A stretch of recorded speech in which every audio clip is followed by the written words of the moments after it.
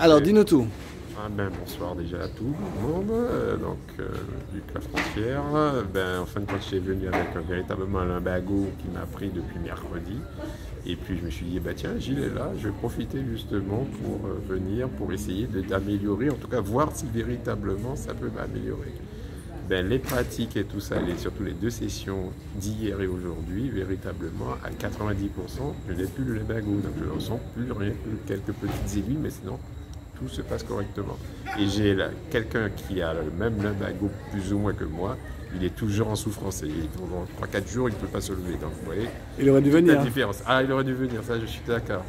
Mais bon, voilà quoi. L'expérience, je dirais, à ce niveau-là, en tout cas. Excellent. Merci.